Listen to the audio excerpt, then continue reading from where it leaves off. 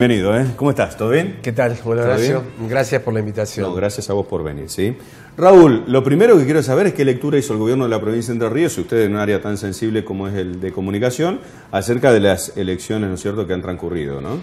La verdad que es, hay una lectura que es del pueblo argentino, ¿no? Claramente el pueblo argentino ha manifestado que hay una adhesión muy fuerte a- al gobierno de Mauricio Macri, a esta marca Cambiemos, que ha logrado establecer unas cifras muy importantes. Si vos te tomás la comparación hasta lo de Entre Ríos, es, es menor que, que otras derrotas eh, o que otros porcentajes de votos que, por ejemplo, en la provincia de Santa Fe, por ejemplo, en la provincia de Córdoba y en otros distritos. Bueno, Bueno, Rodríguez A, te hago una contrapartida, Rodríguez A logró revertir 20 puntos en tres meses. bueno, esa es otra particularidad Es una particular provincial que, de la lectura.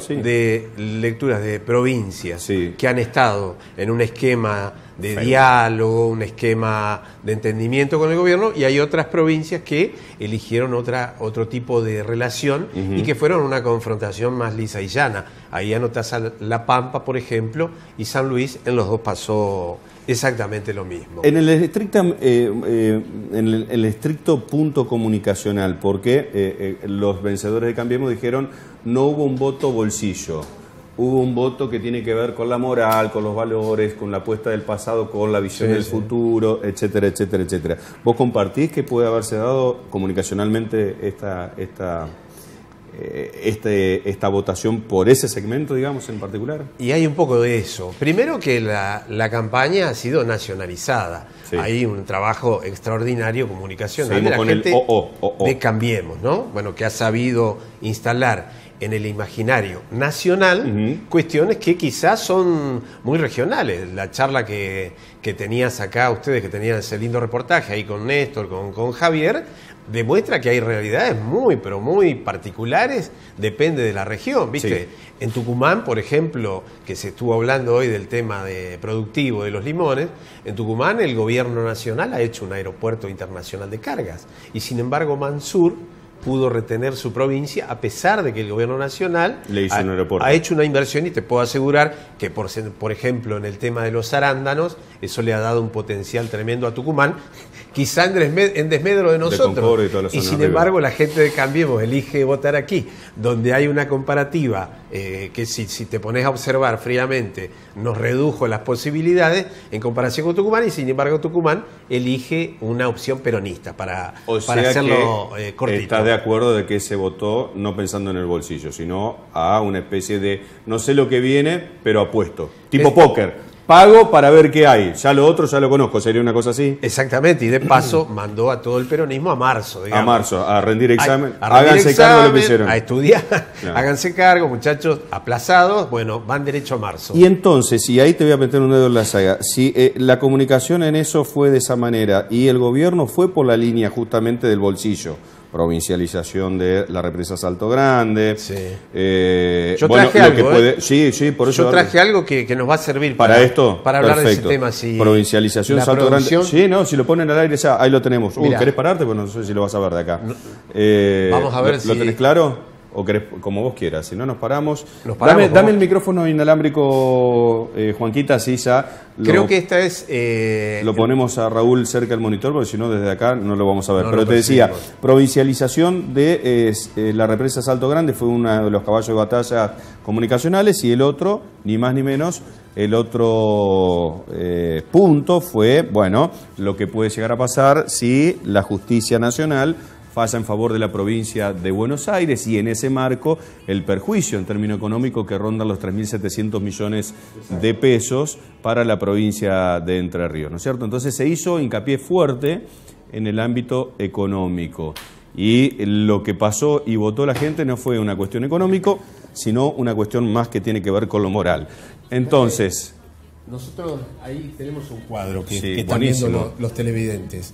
Esto es una, una evaluación, después vamos a ver una placa cuándo fue hecho esto. Bueno. Fíjate, eh, gestión agregada, eh, viste que las gestiones se dividen muy buena, buena, regular, malo. Bueno, Sí. está agregado para que se entienda mejor. Lo verde es lo bueno, lo rojo es lo malo. Fíjate, excelente nivel de gestión. Bordet tiene 63 Sí. de buena gestión y 27 de, de mala.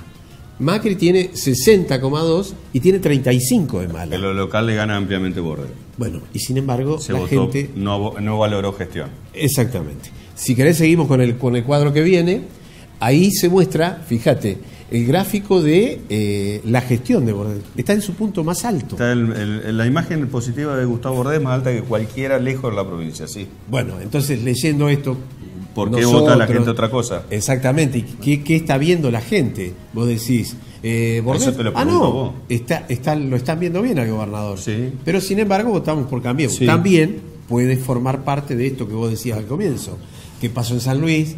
¿Qué pasó en La Pampa? ¿Eh? Eh, si hay realmente una diferenciación de la confrontación o de un diálogo amigable y que en estos términos se confunde. Que en estos términos se confunde. Esto yo creo que en una elección más localizada eh, quizá tenga su referencia. Porque más adelante. Sí, adelante. Vamos a seguir con los cuadros. Fíjate que esto.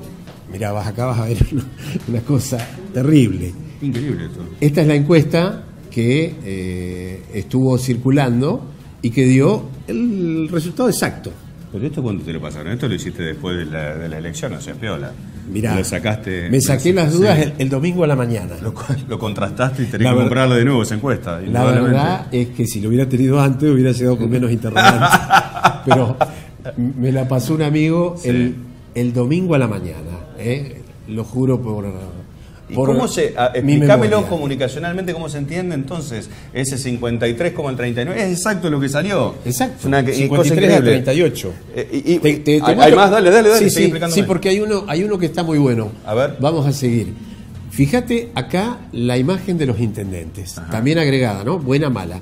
Bueno, ahí, arriba tenés el intendente de Chajarí, Que fue el que retuvo. y el que retuvo y que ganó realmente. Fíjate vos, en Concepción del Uruguay hay una fuerte derrota del oficialismo. Y es Ahora, no es, por- margen de no es porque Laurito eh, la gente piense que es un mal intendente. Esta es la encuesta por la que se basó el gobernador diciendo que localmente la imagen es muy positiva de los intendentes De del justicialismo, pero los no llega, también. no llega a revertir la oleada nacional. Gracias a esta encuesta sale a decir lo que dijo el gobernador. Porque el 71% de Sarubi en La Paz no se transforma en, en- No. en votos. O el 61 hay que tiene el intendente de Gualeguay. Lo llevo a lo local. Barisco tiene este, más imagen eh, Negativa que que, positiva. positiva, Y sin embargo, 40.000 votos de diferencia, un 30.000, poco más. 30.000 30.000 y picardo. 30.300 creo Sí. que son efectivamente los... Quiere decir que hay una particularidad y bueno, y, Y habla, bueno, ¿cómo entendés habla entonces? también de una sofisticación del electorado. ¿Viste? Que estamos hablando de otro sujeto político. Eh, fíjate vos, eh, esto está relacionado con el reclamo de Salto Grande, la provincialización. Hay, yo no quise abundar mucho en cuadros, pero hay, hay un cuadro No me encanta que sea con cuadros. Previo. ¿eh? Nos enseña a todos. Exacto, y además el televidente entiende de Sí. qué estamos hablando. Sí. Eh, hay un cuadro Aparte son previo. los datos oficiales, no una encuestadora cualquiera, es la que manejaron ustedes. Ahora te eh, ahora Sí. te muestro desde quién es la encuesta porque vale Sí, la sí, sí, pena pero la que hacer- asimilaron ustedes. dar los créditos, ¿no? Eh, volvé al anterior, volvé al anterior, por favor. Eh, fíjate vos que dos tercios prácticamente entienden que el reclamo es justo. ¿eh? el de la provincialización. Bueno, sin embargo, a pesar de que el ministro Peña ha dicho, o el ministro Frigerio, a ver, le ha- Eh, le ha Frigerio lo la relativizó, el de arriba dijo no. Dijeron no directamente, bueno, la gente eh, entiende que el reclamo es justo. Y bueno, y por último, fíjate la encuesta y De el- Julio Aurelio. es, Mirá vos. es de Aresco, de Julio Aurelio, 4.500 casos hechas entre el 11 y el 13. O sea, esto era una Nada, dos días corriendo. completa. Corriendo. Bueno, así fue que se dieron los resultados. No, no, ha sido de. Si lo eh, hubiéramos tenido antes, eh, quizá hablábamos menos. Bueno, eh, claro, y sobre esto entonces se basó un poco, sobre estos guarismos se basó la campaña en dónde apuntar, ¿no? Eh, claro, porque yo, esto me refuta lo que te iba a preguntar, hubo un error comunicacional en plantear en términos económicos la campaña para provincializarlo y en realidad lo que fue fue un voto moral y demás, y ahora yo me respondo teniendo todo guarismo, no, No. evidentemente los registros daban que eso eran los puntos más sensibles como para apuntar por ese lado. Ahora, ¿por qué se da lo de Galimberti?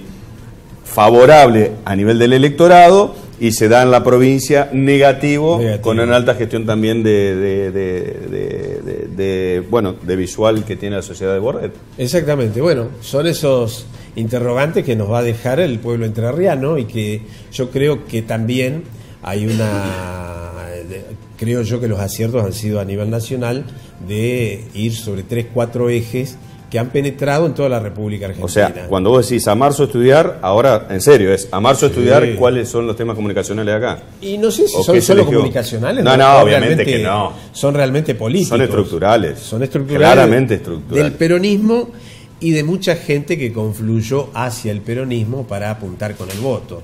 No te olvides vos que acá hubo una elección con el 57% de los votos. Bueno, y ahora eh, se da este resultado que es muy contundente, muy claro Sí, sí, sí. y que no admite doble lectura. Gracias, Raúl, por venir. ¿eh? La verdad, impecable lo tuyo. Muchas gracias. a gracias. ¿eh? Esperemos que hayan servido los cuadros No, para no, nos dejaste entender un poco. casaditos. Gracias, Raúl, ¿eh? muy Gracias amable.